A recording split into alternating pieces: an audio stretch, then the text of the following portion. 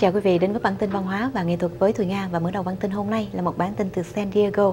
Kính thưa quý vị, sở thú San Diego đã chào đón chú gấu trúc khổng lồ sơ sinh chào đời vào lúc 2 giờ 10 phút hôm Chủ nhật. Gấu trúc mẹ là Bayun 20 tuổi, là con gấu trúc thứ hai già nhất được biết đến sinh con vào độ tuổi này. Đây cũng là chú gấu trúc con thứ sáu sinh ra tại San Diego Zoo, sinh ra tại một cơ sở chăn nuôi bên ngoài Trung Cộng. Có tất cả 6 con gấu trúc khổng lồ đã được sinh ra bởi Bayun. Gấu trúc khổng lồ sơ sinh khi mới sinh ra có màu hồng và không có lông, với đôi mắt đóng kín và cân nặng trung bình của nó là khoảng 4 ounces, tương đương với 112 gram.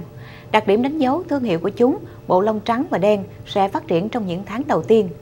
Phó Giám đốc Dịch vụ Thú Y tại vườn thú San Diego là bà Meg Sutherland Smith rất vui mừng chào đón cư dân mới nhất tại sở thú. Sutherland Smith cho biết trong vòng 30 giây họ nghe tiếng tiếng gấu con kêu, họ đã ngạc nhiên và cảm thấy rất hạnh phúc. Giới tính của gấu con vẫn chưa biết đến, cho đến khi nhân viên chăm sóc động vật kiểm tra, dự tính đợt kiểm tra sẽ diễn ra trong khoảng 2 tháng.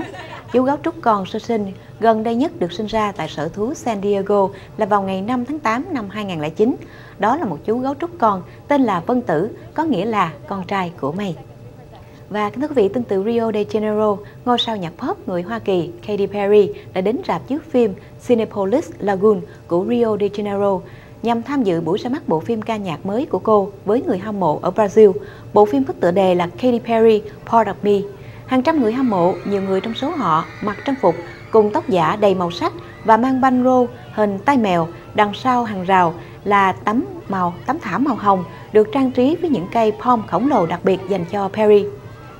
Ca sĩ nhạc pop người Hoa Kỳ Katy Perry xuất hiện trong buổi ra mắt đầy trẻ trung và gợi cảm.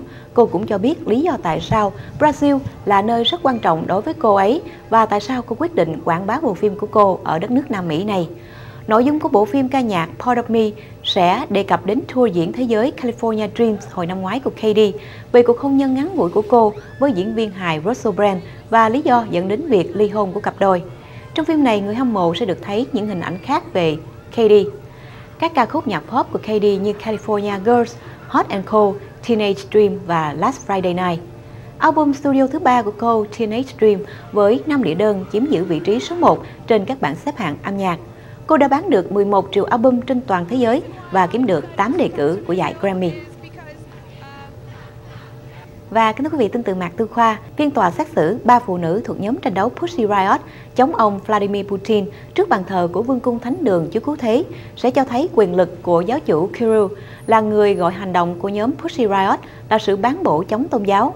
Các cô Maria Aljokina 24 tuổi, Nadezhda Tolokonikova 22 tuổi và Yekaterina Samutsevich 29 tuổi, sẽ bị giam từ tháng 2 sau khi xong tới bàn thờ, ca một bài hát đòi đức mẹ ném Putin ra khỏi nhà thờ. Vụ án ba người phụ nữ, trong đó có hai người có con nhỏ, đã trở thành những tựa đề hàng đầu của báo chí Tây phương.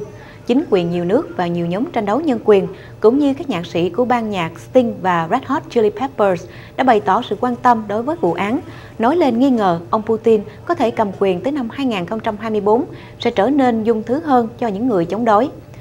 Tòa án xét xử ba cô gái cũng sẽ là tòa án từng xét xử nhà tỷ phú dầu lửa Mikhail Khodorkovsky vào năm 2010, bị Tây phương cho rằng tòa án này đã hành xử theo áp lực chính trị. Bị truy tố các tội côn đồ do thù ghét tôn giáo, những người phụ nữ ra tòa có thể bị tuyên án 7 năm tù. Nhóm Pussy Riot là một tập hợp phụ nữ có tuổi trung bình là 25 tuổi, coi họ là một thế hệ đối lập, chứng tỏ sự bất đồng đối với ông Putin đã ngự trị chính trường nước Nga 12 năm. Cuộc biểu tình chống đối ông Putin trước bàn thờ của giáo hội hậu thuẫn ông Putin đã diễn ra trong thời gian hàng chục ngàn người xuống đường đòi ông Putin rời khỏi chính trường nước Nga.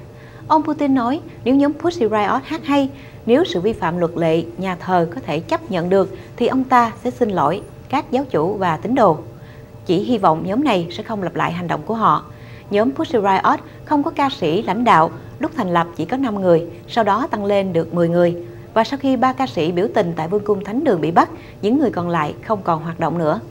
Bài hát đã khiến cho giáo hội chính thống giáo Nga tức giận và cáo buộc ban nhạc này tội phỉ bán. Họ đang bị cáo trạng tội côn đồ vì động cơ thù nghịch tôn giáo, nhưng cách đối xử với ca sĩ này sẽ khiến nhiều người Nga lên tiếng khi hai trong số ba người có con nhỏ và cả ba đều đã nhiều lần bị từ chối không được tại ngoại trong khi chờ xét xử. Hiện có nhiều ý kiến trong dư luận Nga cho rằng dù có thể các ca sĩ đã không lịch sự khi lấy một nhà thờ làm nơi thể hiện thái độ, án tù như thế sẽ là quá nặng nề. Bang Pussy Riot đã nổi tiếng thế giới vào năm ngoái khi hình ảnh buổi biểu diễn công khai gây tranh cãi của họ tại các di tích nổi tiếng ở mặt tư khoa như quãng đường đỏ đã thu hút hàng triệu người xem qua Internet. Hơn 100 diễn viên, đạo diễn và các nhạc sĩ nổi tiếng của Nga đã thúc giục giới chức hãy thả ba ca sĩ này.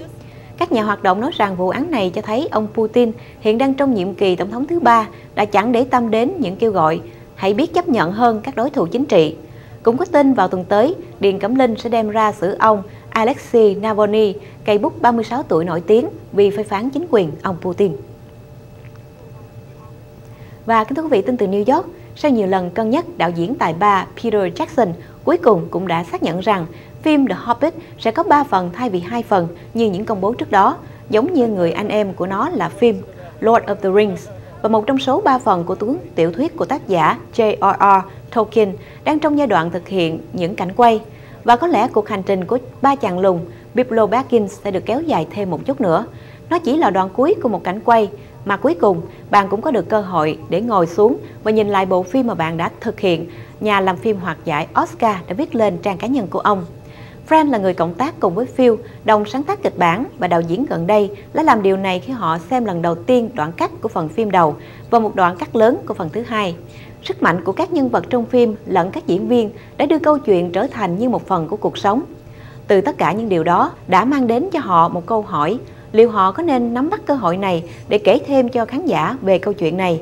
Và một câu trả lời thẳng thắn từ những người làm phim cho đến người hâm mộ chính là có.